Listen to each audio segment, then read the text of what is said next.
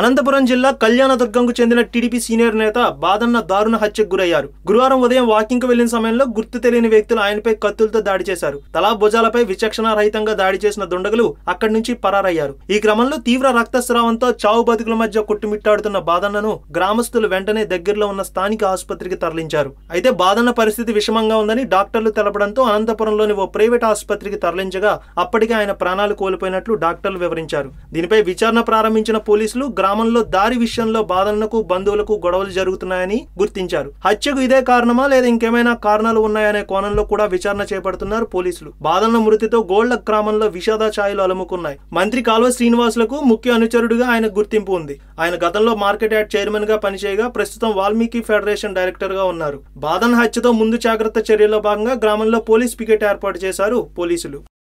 ఈ వీడియో మీకు నచ్చినట్లయితే లైక్ చేయండి షేర్ చేయండి. మరిన్ని అప్డేట్స్ కోసం మా జనహితం టీవీని సబ్స్క్రైబ్ చేయడం మాత్రం మర్చిపోకండి.